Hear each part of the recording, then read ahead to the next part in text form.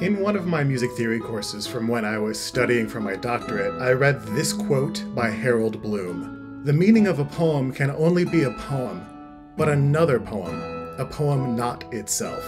Basically, to describe or analyze art, the best way to do that is with another piece of art. Anyway, here's Wonderwall. Bloop. Bloop doop doo. Bloop doop Hey everybody, I'm Michael, and this is my review of Breath of Fire 2. Breath of Fire 2 was developed and published by Capcom. It was also released in 1994. It was produced by Tokuro Fujiwara, who also worked on Sweet Home, DuckTales, and many other Disney properties, many of the Mega Man games, and the first Resident Evil game, along with the first Breath of Fire game. If you've seen my first Breath of Fire review, you might remember that I found that game charming and it included great graphics and designs, but I overall found the game dull, and it mostly just made me excited for what the franchise would be later in its life. Speaking of graphics, this game's graphics are so good. Everything fits together so well, and the battle graphics especially are both smooth and fluid while also being exciting. But when it comes to the battles, they're not my favorite part of the game. There are a few too many random battles. I do like the little monster friend in the main menu that tells you how many battles will be on that screen, but there are overall still too many. The game is a bit too grindy. I'm glad there's an auto battle option though, and I'm glad that the boss got back up thing from Breath of Fire 1 is gone. Speaking of the bosses though, they look really cool in battle. The battle sprites in general, heroes and villains alike, overall look really cool. There are way more standout good designs than there are standout less good designs, and I don't think that any of them are bad. Ryu is even, um, kinda hot in his battle sprite. The map sprites are also really good, but since they're a bit smaller than the battle sprites, they have to be a little bit less detailed. And some of them look a little silly, like Nina and her I'd like to speak to the manager hair in the map sprite. At least the character designs are overall not sexist and are overall interesting. The characters themselves are overall pretty good, but not great. The heroes are pretty strong, but the silent protagonist Ryu is pretty dull. Sten and Jean are my least favorite characters, but everyone else is a pretty strong five. Special shout out to Spar, the gender fluid icon, who, depending on which shaman you have Spar merged with, will be either male or female. Speaking of the shamans, they're a fun gameplay element. You can fuse the six elemental shamans one or two at a time with your party members, which will give them stat boosts for certain stats, or even completely change the character's appearance. This feels like a callback to Karn's fusion spells in Breath of Fire 1, and the mix and match element of the shamans feels like the idea of the genes in Ryu's dragon transformations in Breath of Fire 3. I also like how the shamans and other people can move to a new town that you create. You can get some of the best weapons and armor in the game by asking the right NPCs to move to your town where they open up shop. The town design of all the towns is generally really strong too, and the towns feel pretty significantly different from each other. Speaking of NPCs, they're very strong in this game. I like how you learn more about the characters like Ray and Patty as the game goes on. Mina has some pretty surprising character moments, and Pitape and Daisy are fun family member foils for Jean and Rand, respectively. Claris and Taiga are especially strong characters, but it's a shame that the translation doesn't support their characters super well. The dialogue is weak in this game because of this poor translation. Capcom had Squaresoft handle the translation for Breath of Fire 1, but thought they'd go on their own with the translation of Breath of Fire 2.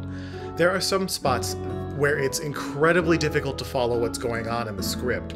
Some spots that should hit hard in the story fall flat because of the translation. It can also be really hard to tell what any weapons, pieces of armor, or items are supposed to be because of the translation and severe truncation of the text in the menus. The story itself is decently strong, but most of that strength is due to the well fleshed out world. The day night cycle is very cool, and it's fun that certain things only happen in the day or nighttime, but this effect ends up being slightly underutilized. While you're waiting for night to become day, if for some reason you aren't using Ryu's Time Warp spell, wandering around the map feels really good. On the map, you can also use each character's special map skill, similar to Breath of Fire 1. The skills are all fun, but they're varying levels of useful. Bleu's skill is hilarious though if you use her skill in the hunting minigame. The hunting and fishing minigames themselves are really fun though. Also, while you're on the world map, you can listen to a lot of this game's best music. This game has different music at different points on the world map, which is something you don't see a lot in other games. The music itself is a bit of a sore point, though. While the instrument sounds themselves are very strong, many of the compositions themselves are pretty weak. Some are great, but some are awful, largely because the loops are too short. I calculated an average of about 34 seconds for the average loop. If this is a song you hear a lot, like the town music or the dungeon music, it gets really old really fast. At least the battle music is a lot of fun. And you can't have battles without some villains. The villains in this game are really strong. Almost all of them are demons that have been taking the place of regular people in the world. They each have different personalities as regular people and different methods for sowing pain and chaos in the world, which works for all of them as a whole. The big boss demon is kind of a silly character, especially in his dialogue, but he and his highest level underlings feel like real threats.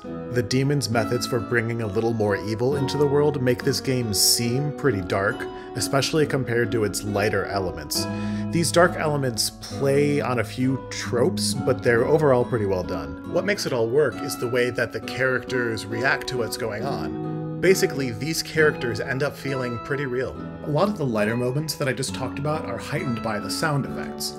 For instance, pretty early in the game, Ryu needs to sneak Bow out of town without anyone seeing him, and he stuffs him into a garbage can to do that. This is animated as a garbage can hopping along behind Ryu out of the town on the world map and across a mountain to reach a hiding spot. The animation of the hopping trash can and the sound effect of it are so charming and fun. You get cute and interesting and scary designs in quick succession throughout this game, all designed by Yoshinori Kawano. Aside from the things that I already talked about with the design, the monsters look great, the dungeons are overall pretty fun, and are a huge step up from Breath of Fire 1's dungeons. I hope you've noticed that this review has been a bit disjointed. Friends, this was on purpose. The pacing of this game is similarly kind of a mess. Remember at the beginning when I quoted Harold Bloom? That was me trying to put that into practice. See? I do art. I'm an artist. Thank you. Anyway, so much of this game seems to jump around. We have to find the real thief so we can clear Bow's name. Meanwhile, let's rescue Katt, rescue Mina, save the people of Capitan, help Jean prove that he's the real prince, all while backtracking back and forth across the world map until someone finally learns the warp spell. Sometimes story events pile up on each other, one after another. Sometimes it feels like nothing happens for long stretches of the game. But I don't absolutely hate that about this game. In a way, it's actually kind of charming. And this trend in storytelling definitely continues in the coming Breath of Fire games.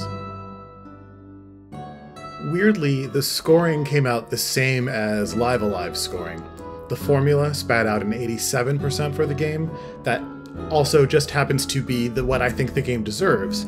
So averaging those two scores gives this game an 87, just like Live A Live. Here's where the game sits in the ranking of all the games that we've reviewed so far.